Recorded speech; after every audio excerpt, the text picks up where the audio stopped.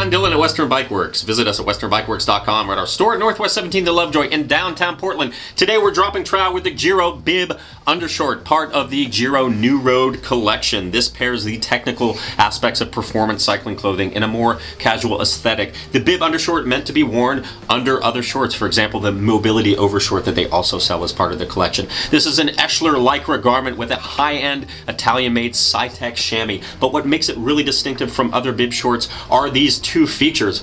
First, the stowage pockets in the back, part of Giro's skeletal pocket system. So three stowage pockets that keep your valuables close to your body, especially convenient if you're wearing a shirt that doesn't incorporate pockets.